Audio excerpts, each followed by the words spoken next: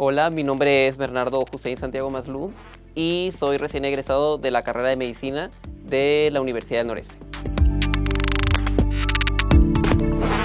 Más que nada, me considero que soy una persona que siempre está dispuesto a seguir aprendiendo.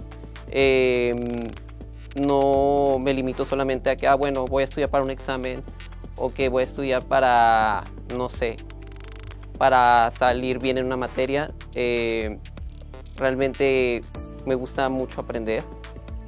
Y pues básicamente creo que eso me describe. También que me considero que soy una persona que le gusta ayudar a las demás personas. Eh, realmente me gusta trabajar pues en equipo o con mis amigos o mis compañeros. Todavía cuando, cuando estábamos en la carrera. Y eso pues también me, nos, me ha servido y nos ha servido a todos como una manera de complementarnos. Bueno, este, la principal razón por la que yo elegí aquí en la Universidad del Noreste es porque, bueno, desde mi perspectiva tiene el, la mejor, el mejor programa y las mejores instalaciones para mí. ¿Por qué?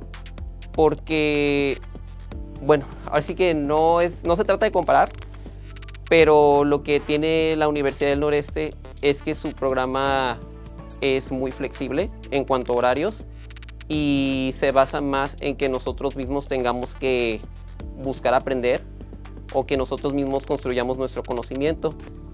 Y pues le voy a dar un ejemplo.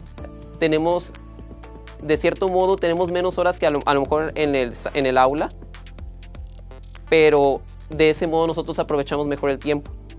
Porque ahora sí que los doctores, todos los docentes, este, nos dan las guías y nos explican más o menos, bueno, no más o menos, nos explican bien cómo es que nosotros tenemos que buscar la información, cómo es que nosotros debemos de aprender.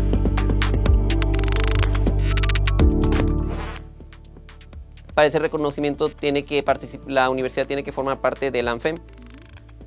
Entonces, ese es como que el primer requisito. Y ya nos, cada quien, pues teníamos que enviar nuestro currículum, nuestros papeles. Y este, ahora sí que ya estando allá, más o menos, ahora sí que teníamos que cumplir con cierto perfil, ¿no? No era solamente de ser de que, ay, bueno, que el promedio más alto o que el que tuviera más, mejores calificaciones, sino que también la mayoría de las personas que estuvieron ahí, que ahora sí que tuve la oportunidad de conocer, eh, eran personas que también ya hacían otras cosas aparte, no sé si me explico, que a lo mejor tenían ya estudios publicados o ya tenían cierto otro tipo de preparación. Em, y la verdad sí me emocioné mucho cuando me eligieron o cuando me escogieron. El siguiente paso para mí es ahorita pues la especialidad. afortunadamente ya, ya presentamos el examen de la especialidad del ENAR y yo participé para, para la especialidad de geriatría.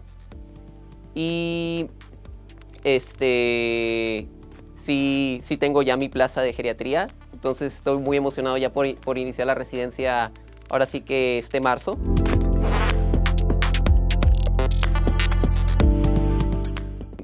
También, como mi especialidad es la especialidad que yo quiero y me interesa este, tener es geriatría, pues la verdad es una, un sector de la población que es muy vulnerable. Entonces me veo ofreciéndoles un manejo integral desde ser, desde siendo, ahora sí que siendo residente, en donde no solamente voy a preocuparme por, por cómo resolverles el problema, sino que ver todo el entorno social y económico y familiar del paciente, que muchas veces es lo que les perjudica mayormente a las personas mayores, a las, pues sí, a las, a las personas mayores, a las personas de la tercera edad. Bueno, a largo plazo eh, yo me veo ya con un asilo o una estancia en donde pueda ofrecer una atención digna y justa a los pacientes mayores, en donde no, donde no solamente les vamos a brindar, pues sí, la atención médica, sino también ahora todos los cuidados para que puedan seguir desarrollando sus actividades básicas, eh, ahora sí que de, la vida diaria. Y que también darles esa seguridad a, pues, a los familiares de que sus, ahora sí que, de que sus, que sus viejitos estén a salvo con nosotros. Y también brindando una atención de calidad a, a mis pacientes. Yo creo que el mejor consejo que les puedo dar es que pues se lo lleven tranquilo. Eh, ahora sí que con que una buena organización de su tiempo, aprovechar todo lo que nos ofrece la, universidad, tiene una biblioteca virtual, tiene el anfiteatro, tiene el SEDAM, pueden apartar horas para practicar, con que ustedes aprovechen bien el tiempo, este, poco a poco las, las cosas van a ir saliendo. Entonces, pues aprovechen todas las oportunidades, todas las actividades extracurriculares que tiene la escuela, todo ese, tipo de oportunidades o son cosas que nos van a servir para poder mejorar nuestro desarrollo, tanto académico como profesional. Thank you.